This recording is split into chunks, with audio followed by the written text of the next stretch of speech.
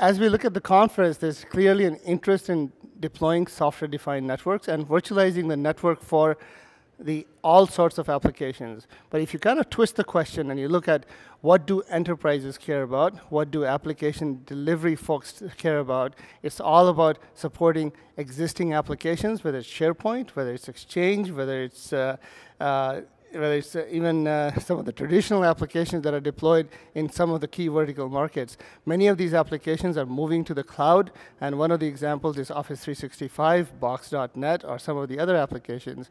So really, what as SDN gets deployed, what we really need to be looking at is how these business critical applications are going to be deployed over a period of time. How are they, how are they going to be deployed over existing networks that will be virtualized?